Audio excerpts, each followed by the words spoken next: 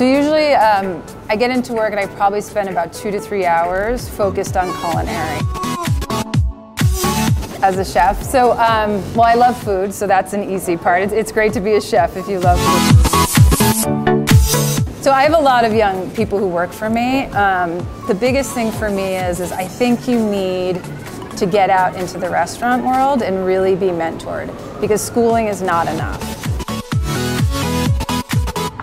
So it was a, it was a kind of crazy long journey. I don't have the typical chef story at all. Um, I went to uh, undergraduate and graduate school for something completely different for science. So, um, and then uh, I was working in a, a business that I loved, and I remember that I always loved to cook.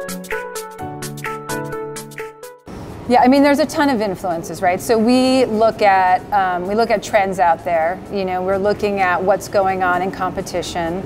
Um, we're looking at what's going on in totally different areas. So it used to be um, you would look at fine dining and you'd wonder when that was going to come down to the fast casual world. But now we look at food stalls and food trucks because there's influences all around.